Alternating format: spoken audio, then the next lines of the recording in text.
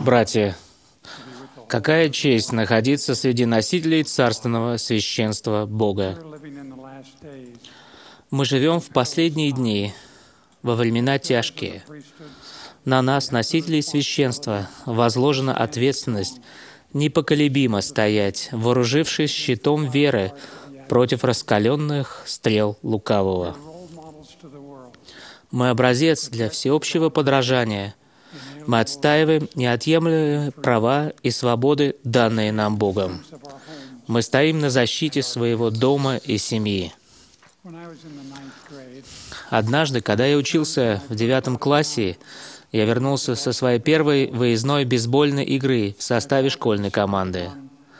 Мой отец верно догадался, что во время долгой поездки в автобусе я был свидетелем разговоров и действий, которые не соответствовали нравственным нормам Евангелия.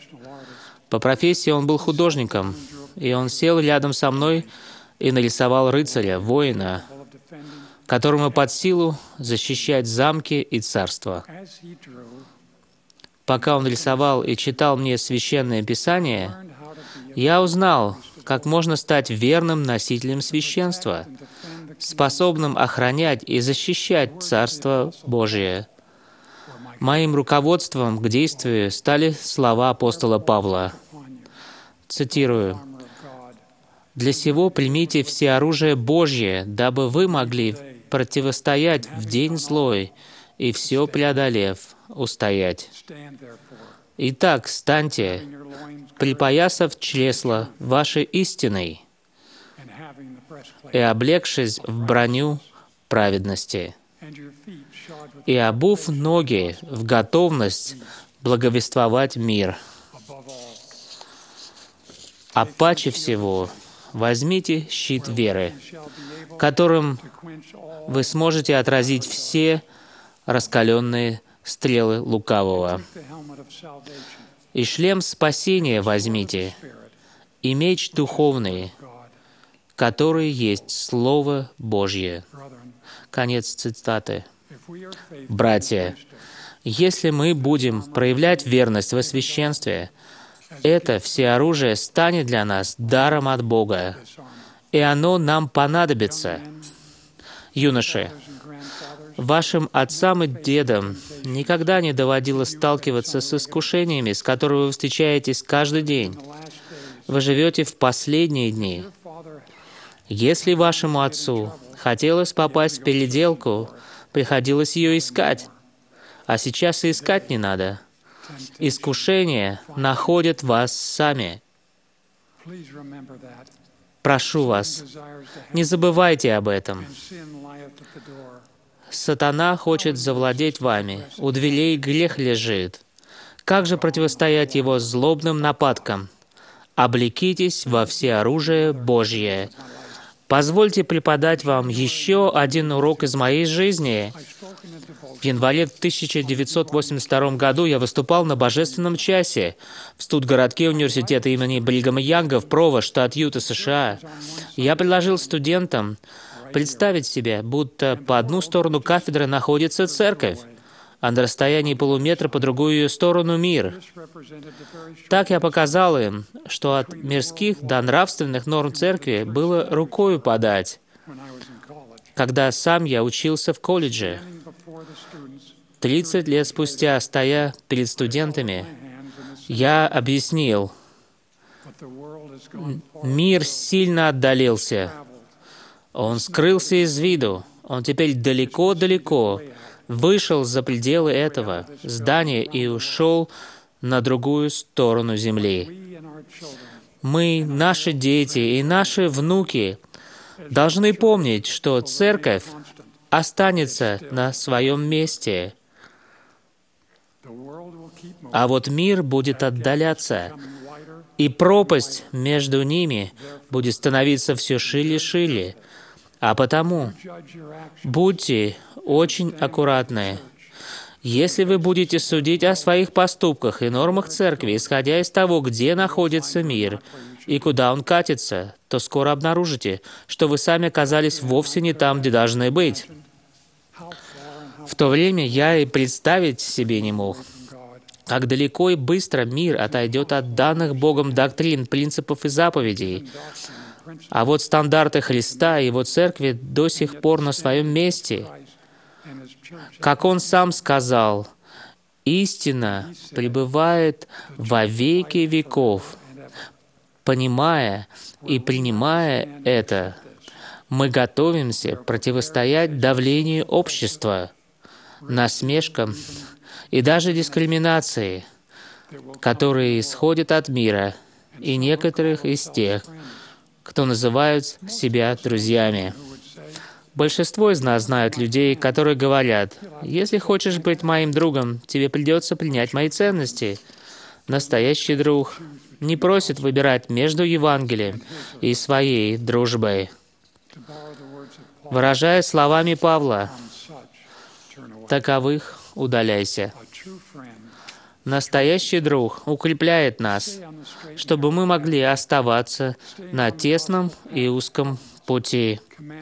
Оставаясь на евангельском пути заповедей, таинств и заветов, мы обретаем защиту и готовимся исполнять работу Бога в этом мире.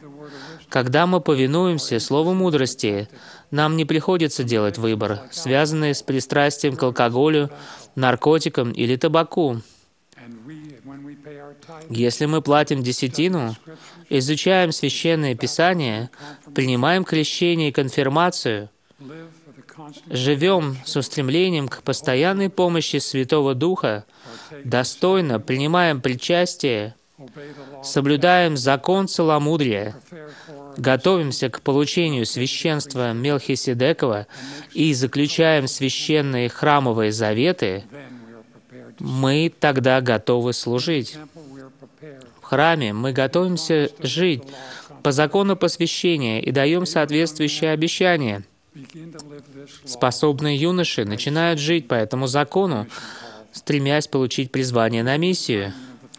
Заплатить десятину первых лет своей жизни служением Господу на миссии полного дня. Такая жертва придает им сил идти навстречу высшему завету этой жизни, к бракосочетанию, запечатыванию в храме и началу вечной семьи. Продвигаясь по этому пути, мы постепенно накапливаем духовную силу, силу применять свою свободу воли, действуя самостоятельно. Духовный рост как юношей, так и девушек ускорится, если они будут обращаться к новым учебным планам в сети интернет. Приходи, следуй за мной.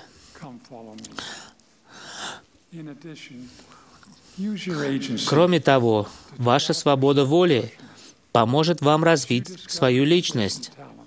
Открывая в себе новые дары и таланты, не забывайте, что вам могут помогать родители и наставники, но направлять вас должен Святой Дух.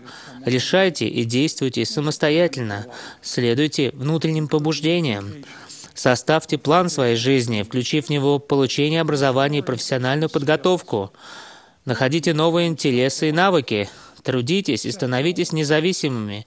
Ставьте цели, искореняйте ошибки, обретайте опыт и завершайте начатое.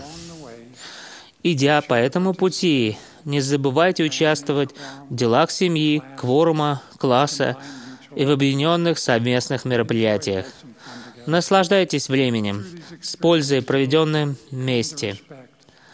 Тогда вы научитесь уважать и ценить духовные дары и вечную природу, обязанностей сыновей и дочерей Бога, дополняющих друг друга. И самое главное, веруйте в Спасителя. Не бойтесь.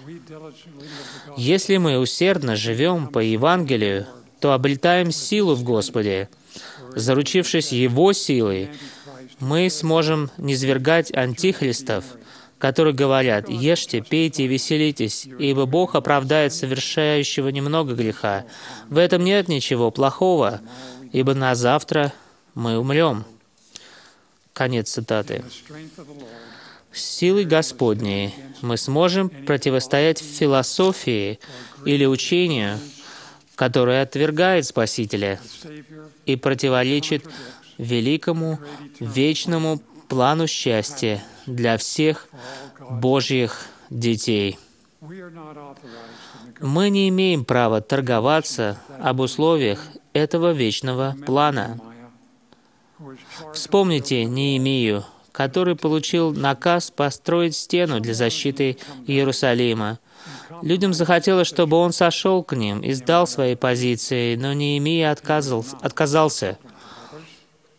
И дело не в том, что ему не хватило толерантности к окружающим. Он просто объяснил, «Я занят большим делом. Не могу сойти.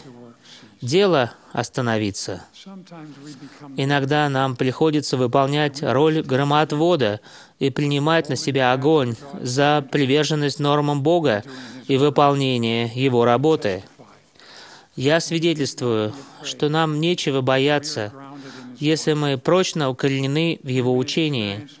Возможно, нас ждут непонимание, критика и даже ложные обвинения. Но мы никогда не останемся в одиночестве. Наш Спаситель был презрен и умолен перед людьми. Стоять рядом с Ним — наша священная привилегия. По иронии судьбы, стоять непоколебимо иногда означает сторониться дел мира и даже бежать от них. Спаситель провозгласил, «Отойди от меня, сатана». Иосиф в Египте бежал от искушений жены Патифара. А оставил Иерусалим и вывел свою семью в пустыню. Будьте уверены, что в свое время все жившие до нас пророки стояли непоколебимо. Нефий выполнил необыкновенное дело Господа, несмотря на удары сатаны и преследования со стороны своих братьев Ламана и Лемуила. Аминадей свидетельствовал о Христе вопреки презрению, насмешкам и даже неименуемой смерти. Две тысячи юных воинов защищали свои семьи от тех, кто попрал евангельские ценности. Мароний поднял стяг свободы, чтобы сохранить семьи и свободу вероисповедания своего народа. Самуил стоял на, на стене и пророчествовал о пришествии Христа — хотя в него кидали камни и пускали стрелы. Пророк Джозеф Смит восстановил Евангелие Спасителя, запечатав свое свидетельство собственной кровью. А мормонские пионеры оставались непоколебимыми перед лицом разрушительных гонений и сложностей, следуя за пророком во время великого исхода из заселения Запада. Эти великие слуги и Божьи святые смогли остаться непоколебимыми, потому что они стояли со Спасителем. Подумайте над тем, как сам Спаситель оставался непоколебимым.